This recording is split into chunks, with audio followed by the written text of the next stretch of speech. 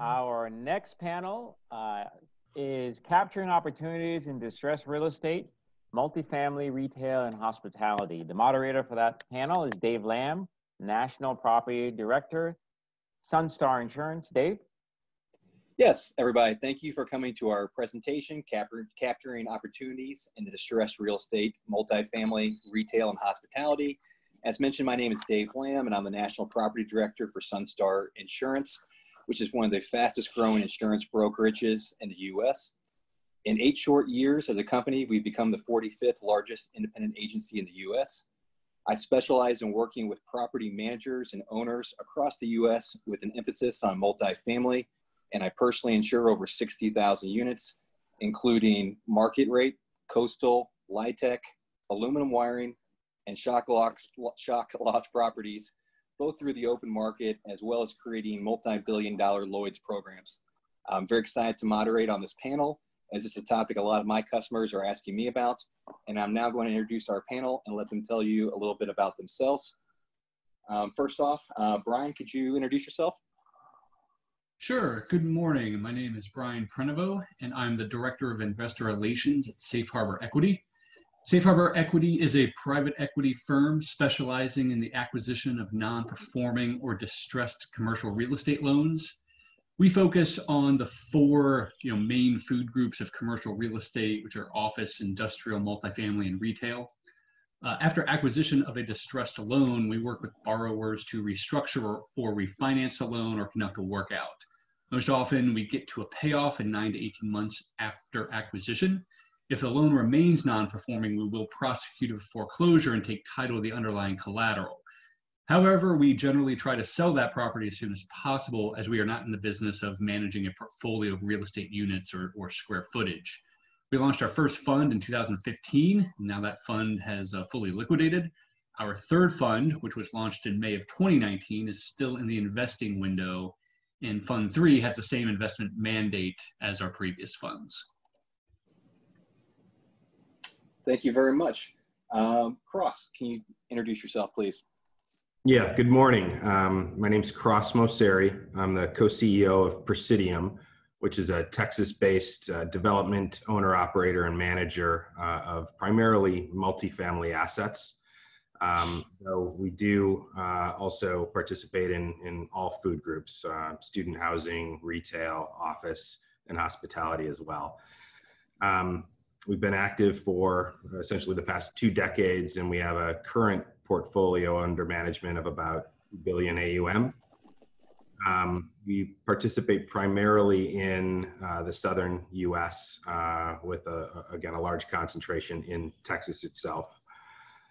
Um, we have been uh, actively developing real estate over the last uh, five to six years and have kind of changed our business model from an acquisition value add group to a, uh, a developer and have migrated into uh, developing large scale mixed use master plan communities, um, three of which we're currently working on here in Texas.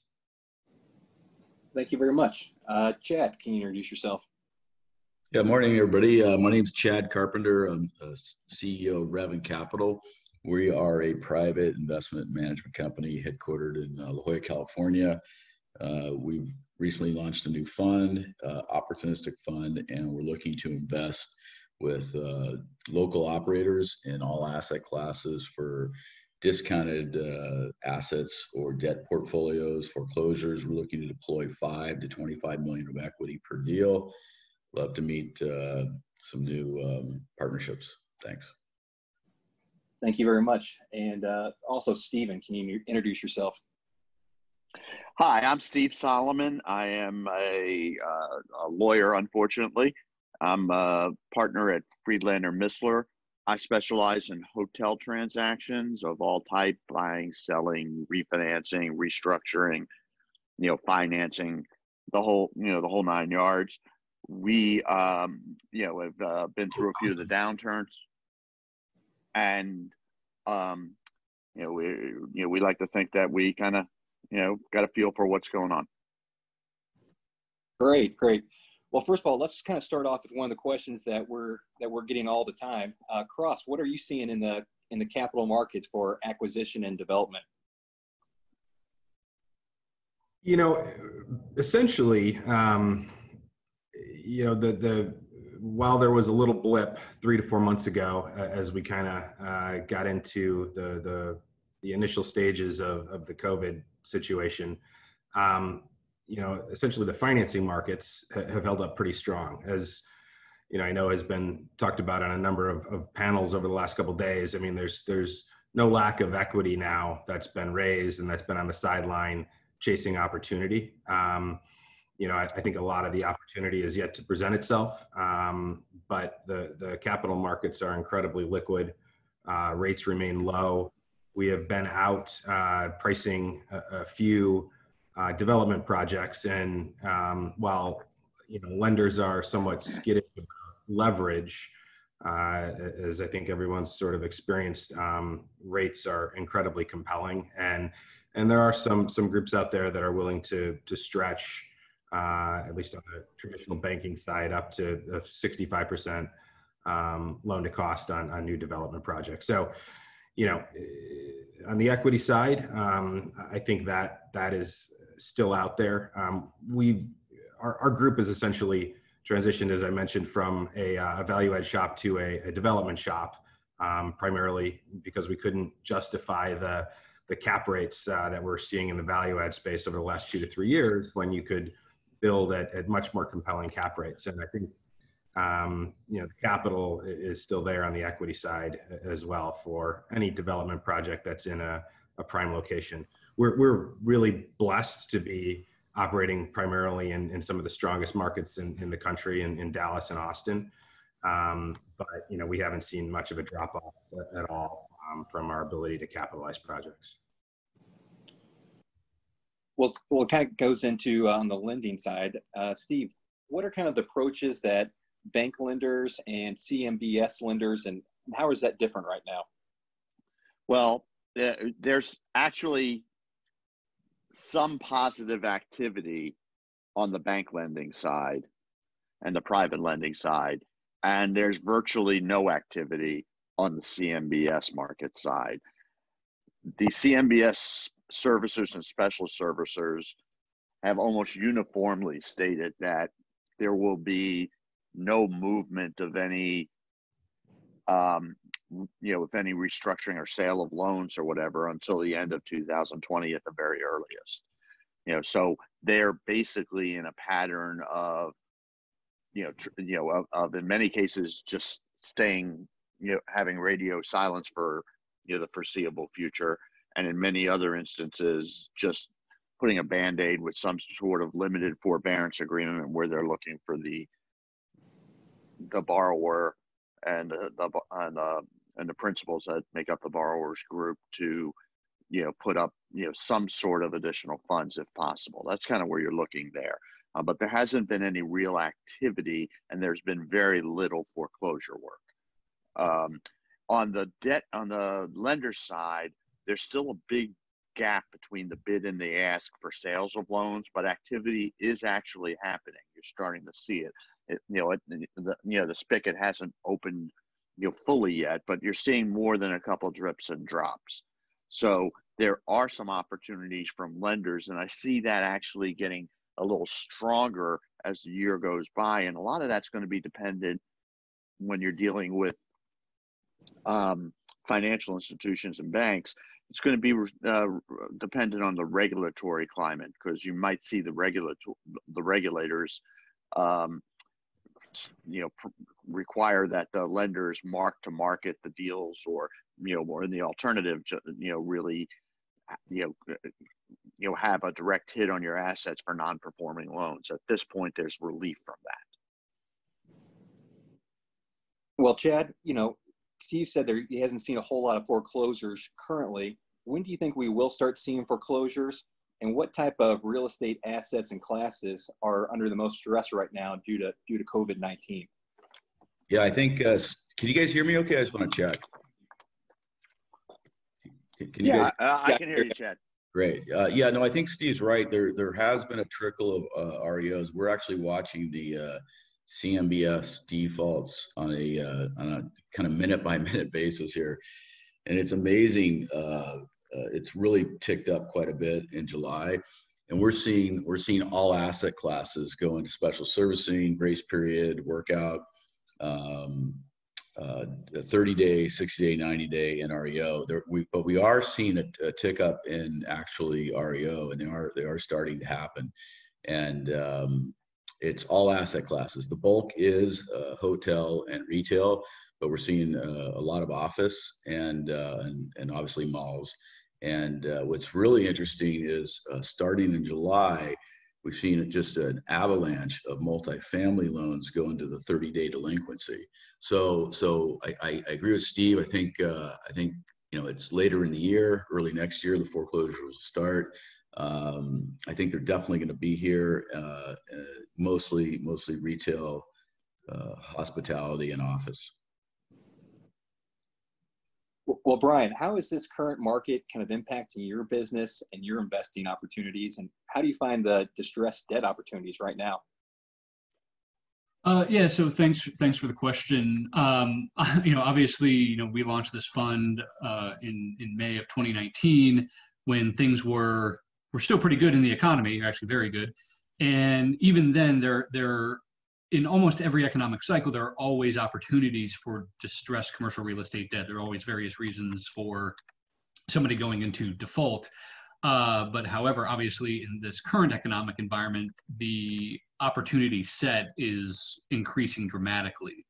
Now, from our perspective, you know, it, it sort of seems as if the opportunities are sort of three, six, or nine months out, and, and everyone is kind of getting their ducks in a row, sort of waiting for, you know, these commercial real estate loans that are either current or 30 days, maybe late, and maybe working out through some type of forgiveness, to moving to the 90 day, to moving to actually distress, which we think is just kind of working its way through the calendar. Um, so we do think that the opportunity set is going to increase dramatically uh, for our business and for our fund. And, and how we source those deals and how we find these deals is typically through lenders uh, that we have partnerships with or that we work with that um, you know we, we we execute we've executed several deals in the past. They know us. We have a good track record. And you know eventually they are going to want to get these loans off their books and we you know as i said we've established a partnership and a track record with these with these lenders and that's typically how we source our deals you know, Steve, from a you know from being a lawyer, how are the courts kind of addressing these foreclosures in lights of you know COVID and what's kind of going on with the current legislation? Well, with regards to how the courts are handling it, they're all over the place. It, you know, it depends on jurisdictions. For instance, recently, the you know one of the you know one uh, the the hotel in New York that has the highest um, you know, the, the highest room rental for a suite. I think it's like seventy-five thousand dollars a night, if I'm not mistaken. Um, it's called the Mark Hotel. You know, it's a high-end hotel. They had somebody come in and buy their thirty million dollar, uh, buy a thirty million dollar mez loan, you know, um, on a distressed loan sale, and then they immediately went to foreclosure, and the court threw out the foreclosure, saying that they were predatory. So a lot of it depends on who your who your judge is and what jurisdictions you're in. Um, it you know it seems to me that it uh, you're you're you're going to have certain you know doubts regarding where this is going you see some people in uh, from legislative standpoint is there going to be any relief from foreclosures um, you know at this point for instance in residential situations and in some jurisdictions, you know, some states or counties or whatever, um, you see prohibitions against foreclosures, not only in residential but in other uh, other aspect cast, uh, classes. You know, at what point will the will the legislation kick in on a on a global basis, or will it just continue to be you know bits and pieces locally? So before you get into a certain asset, you know, asset acquisition or a loan acquisition, you really have to get a feel for the remedies that a particular lender might have and the defenses that you might have to any action that the lender brings. Uh, from a you know from a, a you know in, you know pure logic perspective, at some point, if they're going to give relief to tenants on the tenants um, being evicted and the tenants having to pay rent, there's going to have to be if you know some changes with regards to the owners being foreclosed upon by their lenders otherwise all the owner the owners are going to bear the burden of the losses entirely as opposed to the you know as opposed to the tenants and as opposed to the um the you know and as opposed to the um the, the borrowers Well, going along with that, Cross, I mean, are you seeing distress in the in the multifamily space, and what kind of opportunities are you are you seeing? At this time, we really haven't seen much. Um, we have a, a, pretty large portfolio uh, in Texas and, and Florida, and uh, operationally, um, you know, while it's it's been um, slightly down in, in terms of revenue and, and occupancy, um, you know, it's held uh, way better than than other asset classes. So, you know, I think we're probably off five percent year over year um, on, on collections uh, than we were, you know, uh, last year.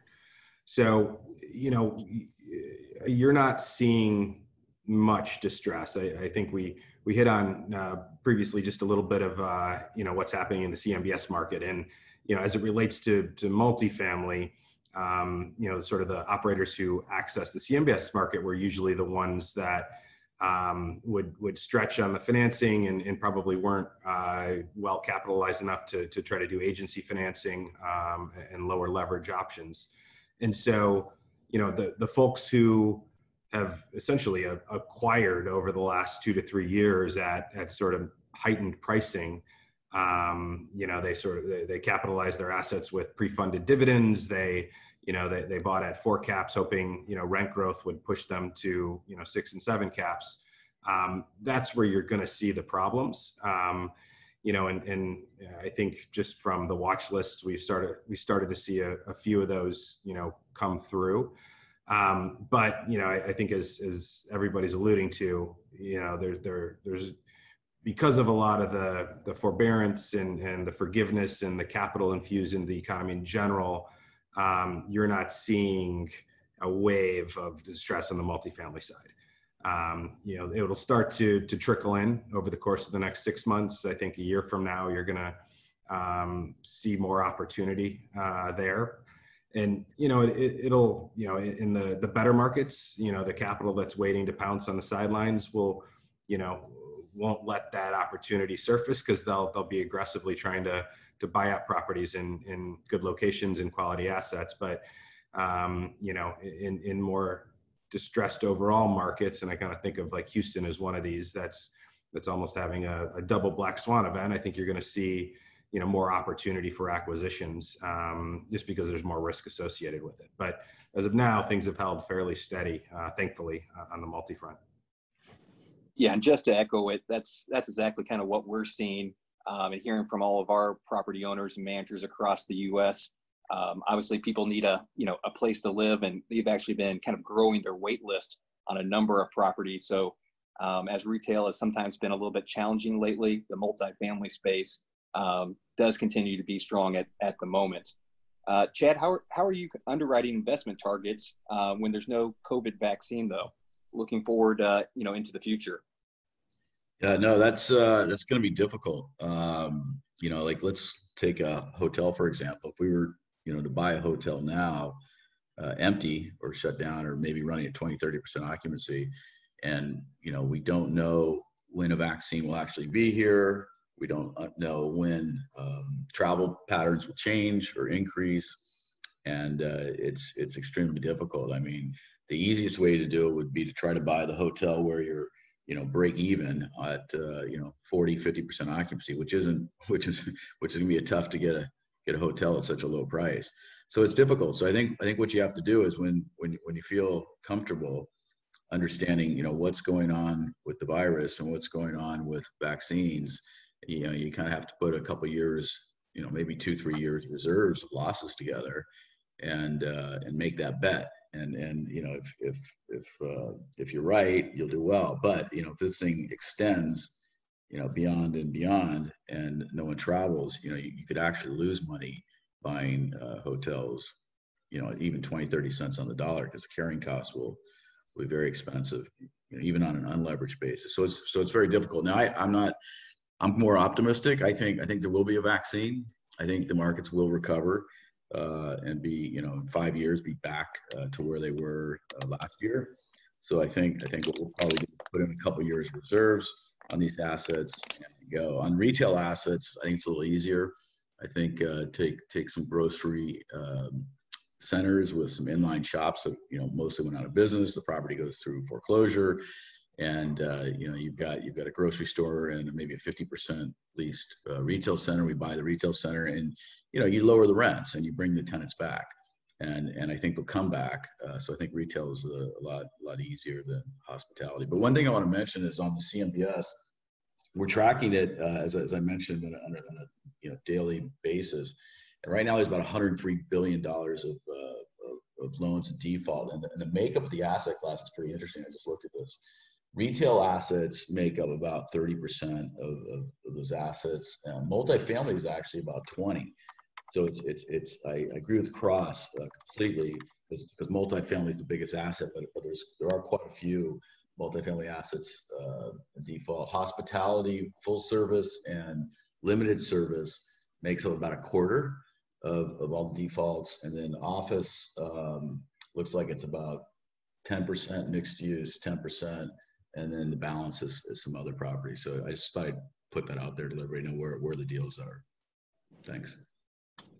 Well, Brian, how you know how are you extracting value when banks and traditional lenders are having an issue with this right now? Uh, so the way we extract value, or or why we are sort of a, a trusted partner of banks, or or a good outlet for banks, is you know typical traditional lenders are not necessarily set up to handle non-performing loans you know they might have a workout department but that's really not their bread and butter. A traditional lending institution uh, derives its value from lending and creating or or um, getting interest income. Uh, when properties go into or i'm sorry when loans go into distress and they move to either you know the special asset desk they're typically not set up to handle you know large influxes of of this type of uh, debt. So if if they have the ability to get rid of the debt relatively quickly, uh, you know they don't have to worry about the potential litigation down the road. Uh, you know if they can work with a a partner that can execute, get to the closing deal, and get it off their books, that's kind of where we come in, and then we have the ability to then therefore or then contact the borrow borrower, restructure the loan, um, create some type of workout uh, and that's kind of really where we we create values is as i said you know this is something we are set up for and traditional lenders that's really not their business model and that's not where they derive their value. That's where we do. Great. I'm going to ask a couple questions here that we're getting from the audience.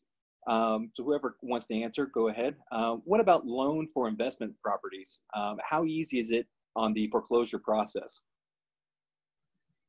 uh, well, this, this Chad, I, I think, I think, you know, I think the lenders will be back in full force on the foreclosures, um, especially like if you, let's say you're buying a hundred million dollar office building and you're now buying it for, you know, 40 million. And, uh, you know, I think, I think lenders will be there to step up for 50% LTV for 20 million. Uh, you know, it might cost a little more if it's empty, uh, some points and higher higher uh, interest rates. But but uh, over my career, the you know, getting the loan has, never been kind of the issue. So if you're if you're buying these things at a significant discount, and uh, I think I think the lenders will be there. So, um, uh, you know, kind of taking you know uh, the other side to the question because the question could be interpreted two ways, and one of them might be how long do you think it is before the lenders will start foreclosing, as opposed to whether or not there'll be debt available to finance acquisitions for foreclosed properties. Um, I think that the lenders, uh, you know, are are looking towards the end of the year in terms of really kicking in the foreclosure process. Um, as I'd mentioned earlier, there there's some impediments in certain jurisdictions to foreclosures. Um, you know, certainly on the single family residential, um, you know, and and in other in other asset classes, depending on the jurisdiction. Um, I think that that can't go on forever. So I think you'll start to see that kick in.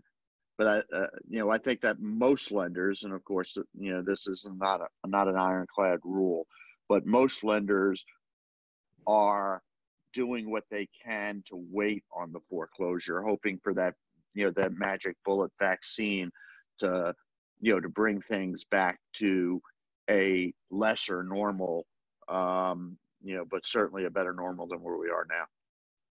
I mean, do you think we're going to be seeing growth on the underwriting side in the coming months for both multifamily, retail, and hotels? No. Okay. I think, I that think, sums it up. I think, I think rents are going down in every asset class. Uh, I think, I think multi, you know, residential will hold up much better of course, because people people need a place to live, and that's the first bill they're going to pay. So I think you know, multifamily and single family do much much better. Uh, but uh, you know, th- there's going to be um, you know a lot of people are out of work. Uh, the $600 uh, additional unemployment benefits are about to expire. PPP loans are expiring, and and and then you know when people are off unemployment, um, especially in the workforce housing and lower end, uh, apartments, it's it's uh, it's going to be uh, it's going to be some stress. So rents will come down, I think, and uh, and values will come down. But but again, multifamily will hold up much better than than all the other asset classes. And um, and further into that, what we're seeing at least uh, a lot, you know, probably 80% of what I do is hospitality with the other 20% general real estate and business transactions. So what we're seeing is repurposing of assets, and there is some appetite for that on the lender side. Where, for instance, I'm on my third deal now where we have a hotel that is being purchased and will be converted to an apartment building. It, you know, there's financing for those types of things. You, know, not at you know not a pre-COVID, you know, loan to values, but certainly there is financing available for those um, for you know for repurposed assets. If you're going from you know ho- uh, hosp- you know if you're going from hotel to um, to apartment you know multifamily apartment which is uh, you know a, a, a, an asset class that's doing far better than hotels right now well someone's looking to buy non-performing loans i mean you mentioned earlier um, you know judges throwing out foreclosures for being predatory um, what are some of the other risks that people might have I, I, think I can probably jump in and start with this one. Um, I mean, there's a, there's a whole host of risks when you're when you're buying non-performing loans. So I'll just kind of maybe focus on a couple high-level ones. Uh, one of the ones that we look at uh, is you know the underlying collateral. So you have to look at not only the property values of the underlying collateral, but there are different risk profiles of each. And just to kind of use sort of the extremes of both ends, what what we look at is is the level of underlying business uh, behind that real estate. So industrial properties would have about the lowest amount of business that is underlying it, whereas uh, hospitality has the highest. So there's there's a risk profile because if you end up owning that property, you know what level of experience do you have operating that business? So hospitality uh, would would be very difficult, and typically that's why we would stay away from that in in our traditional funds. Another thing that you have to look at from a risk perspective is really uh, your ability to go through the litigation process. Um, it's it can be very cumbersome. It can be extremely time consuming. Uh, can be very expensive, and these are all things that can eat into your returns. Uh, that you know, depending on what what percent of par you purchased the, the debt at. Um, you know, the time value of money can can eat away at a return pretty quickly, and the litigation process can can easily go from one year to two year to you know five to seven years, and then uh, as I think we were talking about earlier, you know, the carrying cost of those properties can just wipe out any returns that you might have. So so it, it's it's you know it's litigation, it's the underlying business, and then obviously there's a whole host of others when it comes to collateral valuation. Uh, you have to look at uh, you know interest rate risk, credit risk, all those kind of you know the basic risks of debt investing. But from a non-performing loan, those would be two or three of the largest things that we really look at and have to have to understand. Well, I want to ask a question that I get asked probably three times a day. Um, it's kind of for everybody, but where are you guys finding your deals? Um, you know, people are either 1031 in money, they have money sitting on the sidelines. Um, you know, it, literally at least twice a day, I get asked, you know, do you know of anything? Where can I find some deals? What's what are you guys kind of seeing in the marketplace? Yeah, this is Chad. I'll, I'll jump in. Um, it's still too early, guys, because there's, a lot of everyone's saying the lenders are kind of you know extending, forbearing, and and hoping for the recovery. So, you know, the, the mass amount of foreclosures uh, that we're predicting are really next year and beyond. So so they're they're not there yet. However, with that said, I, I literally this week I just saw the first bankruptcy deal in Florida come through that hit the market, uh, busted condo hotel some retail. I, I, thought it was interesting. The pricing was really, really high. So I think um, I don't think that will move. But uh, we're also seeing some REO deals come through, but it's it's just a trickle.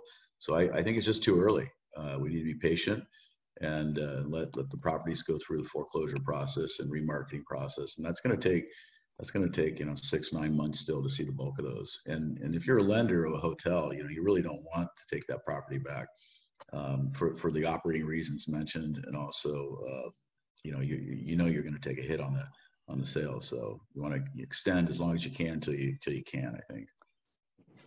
I think to, to and going uh, to pick up on what what Chad was saying, and actually what what Brian mentioned uh, previously. Um, you know, I, I, think a lot of the the deal flow and transaction volume will come from from pre-existing relationships. It's kind of the you know the the lending community that you've had access to and have transacted with previously uh, I think uh, you know that that's where you'll you'll kind of see the opportunities, especially kind of from the off market perspective, um, take place. One one of the more interesting things we've been uh, noodling on because we were we were pretty active participants um, as much as we could be with very little capital uh, in the last downturn. So. Um, we had a, a, smaller portfolio at the time, kind of worked out all of our issues and um, you know essentially came out the other side barely, uh, surviving the last downturn in kind of 08 to, to 2011. Um, you know, but the the best transactions that we were able to do at that time were basically within our own portfolio, where you know we were able to buy out our our LPs um, at at significantly discounted pricing.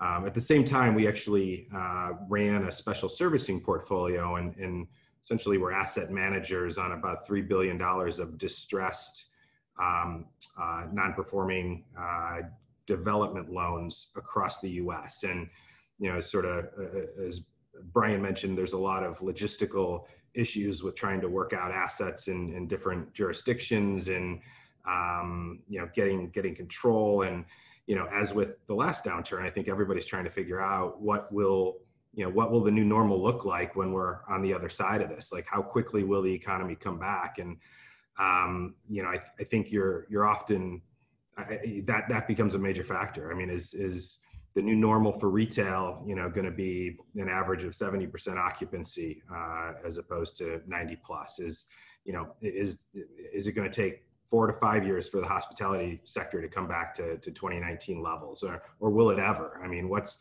what's the you know what what, what does the future look like for convention center hotels? Um, you know and i tend to think there might be in certain sectors a complete repricing um, you know uh, of some of these assets. And as you probably as we've seen over the last like five years i think cap rates have been compressed across all all all sectors. Um, but there's there was really you know almost I, I no justification for a hospitality asset trading at a similar cap rate to a multifamily asset. And you know, I, feel like the risk profile of that wasn't really baked into the pricing that we've seen. And I, I think going forward, there'll be kind of a, a complete recalibration of that once we kind of get to the other side of this uh, this pandemic. Uh, and one thing that uh, one thing I would caution against Um, it's great to rework your your existing assets, especially if you can, you know, get some relief from the lender and find, you know, find partners in the deal, um, you know, that are facing cash crises and you know might might just want to get out and you know and monetize now and risk that the you know as opposed to risking that the bottom could be much farther down than than we are at this point. But you know as as somebody who's worked out a lot um, a lot of loans on behalf of you know many many borrowers one of the main pieces of advice i give to people that have their own assets is don't be in love with your asset. You know you know your asset better than anybody else.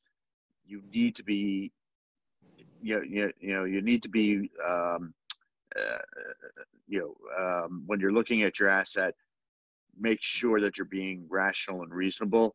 If this was somebody else's asset would you restructure your debt at the amount that the, the lender is asking for you to restructure the debt or bring additional equity to the deal or something along those lines so uh, you know uh, when you have recourse elements to that it, it's a little different but you know, especially on non-recourse debts. Don't be in love with your asset.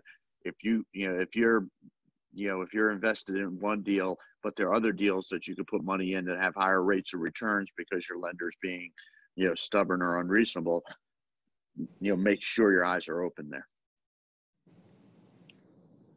Well, in this current environment, is anybody looking at deals in, in Europe? And what's everybody's kind of view on how performing and distressed opportunities in the uh, U.S. compared to Europe right now? Uh, this is Chad. I'll jump in. We, we are we are looking at uh, public securities in Europe, and um, not not assets. And uh, the, the, the public securities are they've actually held up better than we thought. Um, so we're not uh, we we bought we bought some uh, in Argentina actually, and uh, at ninety percent discounts we're pretty excited about those uh, those, those, those positions long term. And um, you know, we've looked at other markets, but uh, we haven't done any assets.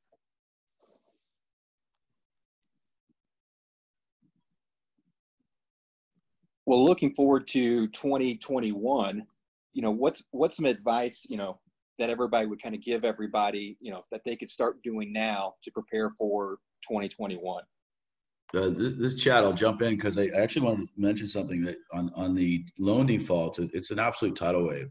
And um, uh, it's what's interesting. It's it's it's it's. I mentioned the asset classes, but it's it's not really concentrated in one city like you think New York, right? It's everywhere. It's every state, every city, uh, all size ranges. You know, from a million dollars to to a billion dollars, and it's it's it's it's quite interesting. So uh, I would not. I'd be very careful if you're trying to buy something right now because you know my view is uh, that value is going down everything's coming down because people haven't seen the foreclosures yet and the revaluations we're just starting to see the uh, reappraisals on these uh, defaulted loans and the, and the, values are you know they're coming down fast but i don't think the public's seen them i don't think you know they haven't comped out because they haven't sold so you, you kind of got to look forward and go okay if you know if these all these office buildings and hotels and retail centers sell for 30, 40 cents on the dollar, what, what does that look like to the deal I'm doing now? You got, you really need to take that into consideration. So we're not buying anything.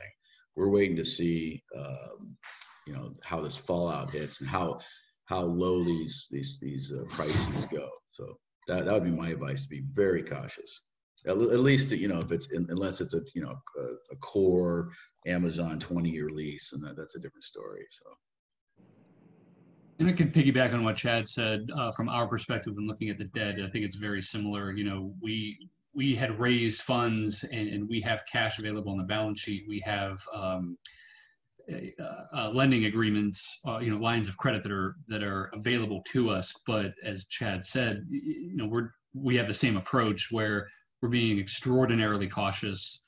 Um, you know, unless the deal is unless the debt deal was just an absolute slam dunk, you know, we're not really doing anything because we, as Chad said, we need to wait for the process to kind of work itself out, and it's really a matter of time. So going into 2021, you know, getting prepared, it's making sure you have capital. Uh, it, it's understanding that, you know, the the that that capital might, you know, might be, um, you know, that you might have to. Uh, you know sit on it or or or just kind of hold it for an extended period of time. But I think you know, it's, I think the lesson of the day is be prepared to wait and be prepared to be very patient over probably the next 18 to 24 months.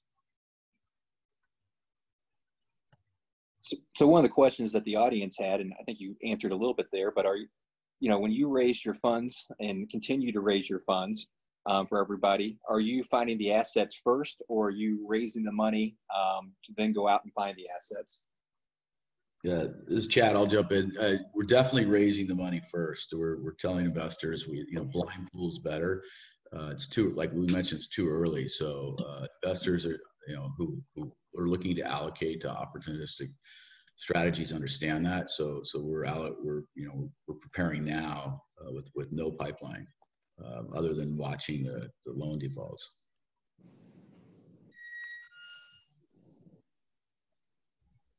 So when do you think we're going to start seeing? Obviously, everything is very up in the air right now, but um, when do you think that the buying opportunity is going to start due to COVID compared to the pre-COVID pricing? I, I, Depends I on that. yeah. Go ahead. Go ahead. Go ahead. I was just saying, yeah. It, it, it, I think first quarter, you know, is kind of you know wait till first quarter, you know, just to see what the fallout is and um, and and and beyond, basically. Next year. Yeah, I think that the first quarter is when you're going to start to see the activity, but I think that the risk profile for the first quarter is going to be far higher than each succeeding quarter in 2021. I don't believe that we're going to, and maybe I'm just pessimistic about this, but I don't believe that we're going to have any real answers as to the new normal during the first quarter of 2021. We may have some optimism, and the optimism can lead to price spikes, if you will, but it may not. Uh, it may not be sustainable. Um, you know, being in the, you know, being a hospitality guy, I can tell you that without, you know, without a COVID vaccine, hospitality is doomed in the short term. There, there will be no significant improvement. There'll be mild improvements in certain areas, but big box hotels, you know, and the convention, you know, the convention hotels, those, those may actually have to be repurposed if this continues, you know, you know, for a couple years. You know, so a vaccine is is really a panacea for the uh, for the hotel industry, and until there is one, there won't be a change there. And and if they and if they do actually come up with one and and it's proven, I think most lenders you know won't foreclose. They'll, they'll wait it out with their sponsors and uh, you know have the vaccine distributed and people will start traveling again. So we won't see the foreclosures. It's really all based around the virus and the vaccine. Totally agree. A hundred percent. And not only that, what you're seeing, especially for you know, um, it, it's too early to tell what we're going to see from CMBS. Um, they move, and you know, even in good times, they move at glacial speeds. So, um, you know, knowing how they're going to project out in six to nine months is, you know, is a very difficult, uh, you know, crystal ball to look through. But you know, it is, you know, it's very clear that banks can't absorb the loss by foreclosing on assets or selling the loans at a significant discount at this point. You know, they can't, you know, they just can't take all their non non-performing inventory and sell it at, you know, 50, 60, 70 cents on the dollar. Um, they won't have the, they, they won't have sufficient capital um, to meet any regulatory requirements. We'll go back into situations, you know, for those, for those who are around in the you know in the mid to late 80s and early 90s we'll go back into those situations. And and you know and also from you know the 2007 to 9 uh you know you know debacle where the banks just don't have that you know the you know the banks will have to be merging and and uh you know and you know be under uh, regulatory um, supervision if they start to recognize all these losses I think the other thing to, to keep in mind too uh, is just that you know even when a, a vaccine is available and hopefully it's kind of in the near term and we're talking 12 months you know with kind of the the situation we're looking at it's it's very similar to what you know we went through in in 08 09 and 2010 and you know to work through those assets and to you know, for the economy to actually have the time to recover and, and repair itself, um, it's going to take a, a, few years. So, you know, while I, I agree, I think, you know, opportunities are start going to start to present themselves, you know, in, in 2021. I mean, is for, for those folks old enough to, to remember the last time we, we had an event like this, you know, the, the the overall sentiment um, and, and, the distress and, and the economic fallout, you know, lasted well into 2010 and 2011, and, and pricing didn't really start to recover, you know, until 2011 and 2012. Um, you know, volumes will be down. Um, you know, capital will be on the sidelines looking for opportunity, but you know, with with the wave of of this distress and, and, and foreclosures and workouts that takes time to work its way through the system. And you know it's going to take time for us to go from 15% unemployment to levels that we were at pre-virus as well. So you know this is going to be you know a situation that we're going through for a number of years. Um, i would draw an analogy you know i would draw an analogy combining the two you know the you know the credit um you know the crunch in 2007 to 2009 and you know the ultimate recovery later on i would blend that with 9-11 this is an extraordinary event. You know covid is completely you know it's a black swan event. We've never you know we've never you know we encountered anything like this previously. But it's an event that hopefully not definitely but hopefully will have a finite period. So 9-11 the hospitality industry fell off a ledge, but that ledge um, that ledge didn't last too long. This ledge is going to last longer. All right. All anticipation is if, and again, this is if there is a vaccine that starts to be distributed in the sec by the second quarter of next year, hospitality will not return to 2020, uh, 2019 levels until the end of 2023.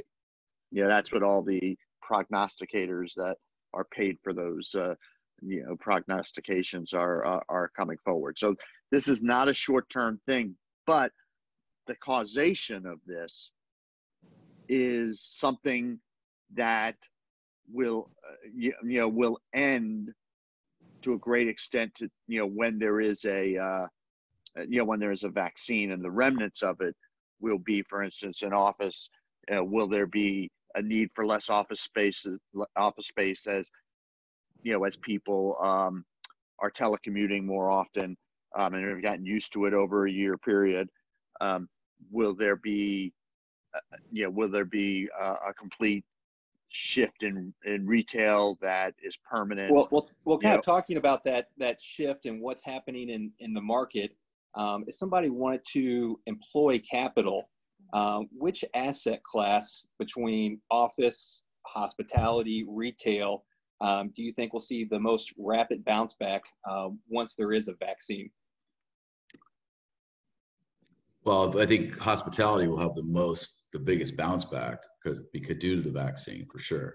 Because people, you know, people want to get out and travel. Everybody misses, you know, uh, going to the business meeting and getting on the airplane. Uh, so there's no, without question, be hospitality. I um, hope so. Otherwise, otherwise, I'm going to be very poor for the for the very foreseeable future. I mean, what what are you guys seeing on the on the housing for student housing services? Um, you know, areas that have you know kind of been um, brought up by by colleges?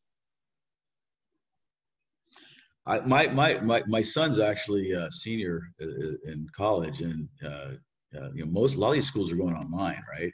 And um, and some some haven't done that yet. So either way, uh, I think uh, you know people are putting the kids in less rooms instead of having you know, four kids or college kids in one room they're having two or one. Uh, so so that's gonna it's gonna be a financial impact on uh, on these senior housing i'm sorry uh, student housing operators. And uh, the revenues are going down especially uh, until there's a vaccine. So have, have you been seeing that's going to affect uh, retail in the other in the in the areas as well with colleges? Oh, absolutely. I mean, I mean, anytime you have uh, lower demographics or less population in any you know city area, uh, that's going to affect uh, you know revenue for, for for the local retailers for sure. So. I mean, are we are we still looking at just for retail in general um, the values heading downwards? Um, you know, for for the future. I mean, is this something where we think it's going to be a um, you know six months to a year, or do you see potential headwinds you know extending beyond that?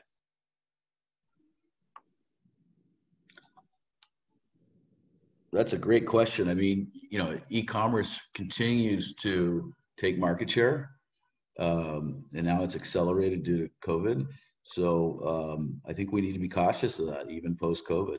That uh, that, that more retail is going online, and clearly, I don't think Amazon can you know give you a mani petty, but so those things will be okay. And you know, I think grocery stores, even even though they are doing a lot of online uh, grocery store delivery, I think the local grocery store will still be there because you know they can use those grocery stores to have a point of delivery. So I think they'll still do well. Um, but it's it's something to consider. I mean, uh, we were we we we we ran a single family housing we sold last year, and you know we were thinking about Amazon, and you know can Amazon you know uh, compete with our business, and you know you, you can't live on Amazon. So so I think the residential asset class is pretty immune from that, but but uh, uh a lot of businesses aren't. So it's something to be cautious of. Yeah, I'd agree. I think something um, you know, I think crises don't necessarily create flaws in, in business plans or business models. It merely exposes them or exacerbates them. And I think retail property values and you know the the oversupply of retail had already been exposed, and I think the pandemic and and COVID nineteen has merely exacerbated uh, that that trend. Well, I have a question here on on office space. Um, they were talking about how their company is trying to downsize and you know what are you seeing in the in the office space? But just kind of want to give my two cents as well from what we're seeing is we're seeing almost two sides of that equation. Um, certain offices obviously you know they are downsizing and looking for smaller spaces. Um, but we're also seeing a number of companies who are trying to get um, a much larger footprint um, so that they can um, socially distance better spread people out. So we're kind of seeing on on both sides where certain companies are are trying to lower space and other companies are you know trying to get significantly more space um, so they can operate in you know as safe as way as possible. What what are you guys seeing on on the office side of things? This is Chad. I, I, I think I've heard both those stories. Uh, we've talked to several real estate brokers, and we're seeing a lot. We're seeing a tremendous amount of sublease space hitting the market, which is concerning. Um, so I think I think we'll have to see over time. You know, you know, do we ha- do we have more give back than you know add? But what concerns me about office uh, is, you know, office is extremely capital intensive. The the tenant improvement costs, you know, have increased um, a lot over the you know the last ten years, and uh, it's very expensive to turn these tenants. So when you have office buildings with rents going down and and you have prolonged ownership and you have to turn the tenants a couple times, it's gonna be very difficult to make money in office unless your basis is really low. So you just need to take that into consideration. This is this is Cross, and um, while while we're primarily in the multifamily space, I mentioned previously that we we are working on um, several large scale mixed use projects, which we're, we're going to be developing over the next decade or so. And those will have a significant office component to them. Um, right now, we're kind of in the planning, design, uh, and permitting phase of these, and we're working with some large national uh, co-developers in the office space. But we are, are very much trying to figure out what that world looks like going forward, how how office buildings themselves evolve uh, in the future, but also like what the what the tenant needs are going to be. And you know, thus far, while there's you know a, a significant amount of of that sublease space available, as, as Chad mentioned, um, you know, it, it's almost a tale of two cities, right? Because you're going to have a, a, struggling economy where people where where you know business owners are are looking to uh, reduce their their office expense essentially but then you've got you know some of the the largest um, you know companies in, in the world that are are doing well in this uh, in this environment. They're they're growing market share. Their profits are up. Um, you know, I, I, live in Austin, and and we are blessed to have you know Oracle, Apple, Amazon, Google, Facebook all have a huge presence here, and soon to be Tesla. Um, these companies are faring very well, and and I think they'll be you know some of the ones that you know are easily able to you know digest you know more open space and more office allocated per employee um, you know than pre-covid. Um, whereas a lot of the smaller businesses i think are are going to look to condense um, and, and, have their employees work from home and to kind of lower their costs. So it, it certainly is uh, i think could be a tale of two cities going forward well kind of a question we just have a couple of minutes left here but kind of going along with that and a question that i've been asked and uh, you know, not to get political, but if there is a change in in leadership and you know taxes do go up, do you see uh, a potential influx of business and both capital moving uh, to states with with lower tax rates?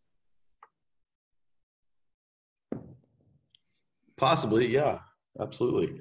I mean, I mean, especially especially I think people live in California and New York. I mean, I've I've thought I've actually thought I live in California. I've thought about moving to Florida um, for a while. And you know they're talking about changing the Prop 13 tax on commercial real estate out here, and and that's going to have an immediate devaluation of all commercial real estate overnight if that passes in November. So it's very concerning. And then they're you know they're, they increase your your your you know your income tax and your property tax. Wow, you know, it's not, not a lot of motivation to stay. I think that a lot of that. Uh, I think you're right on target with state taxation and and local real estate tax, uh, you know, taxation.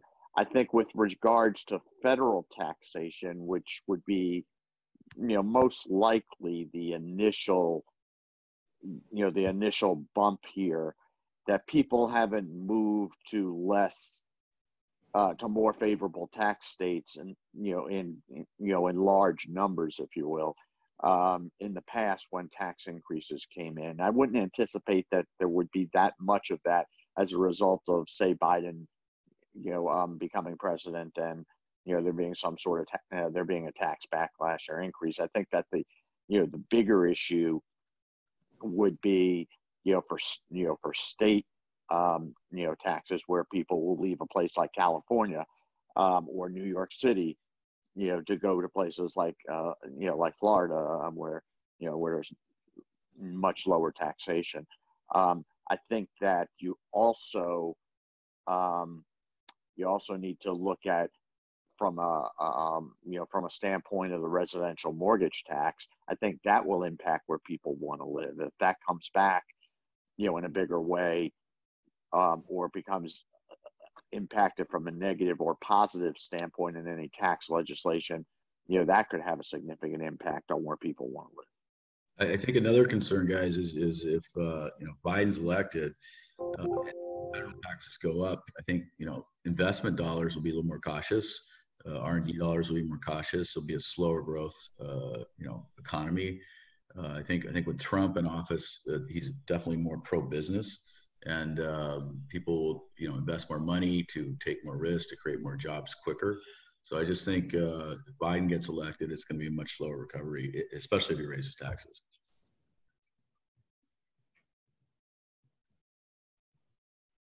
Well just kind of closing everything up um, obviously this is capturing opportunities. Does anyone have a kind of a last you know remark here on what they would do or what they would suggest people do to capture opportunities in the future uh, guys, just to interrupt here, we're at eleven thirty, Yep, and absolutely. um, this was scheduled to end five minutes ago. So I want to respectful Nope, for the absolutely. next um, for the next presenter. So if you want to keep this to like literally f- five, ten second answers, um, that's great. If not, we can skip it. i think we can just move forward Okay. Um, thank you, Dave. I appreciate it. Thank you, Brian, Cross, Chad, Stephen. This was an excellent, excellent panel. Um, I sat back taking notes um, of the discussion today. Uh, you guys really demonstrated your expertise in the different spaces. We weren't able to cover all of the um, all of the the questions uh, that came in, but I'll I'll share them with the panel after we're able to uh, process all of the information, and hopefully you can reach out to these people uh, that are asking the questions and follow up with them directly. Uh, Dave Lamb, you did an excellent job uh, moderating this panel. I want to thank you again. I want to thank Sunstar for being a member of FLAIA. And if you have any um, insurance needs, uh, please reach out to to Dave. Thank you guys.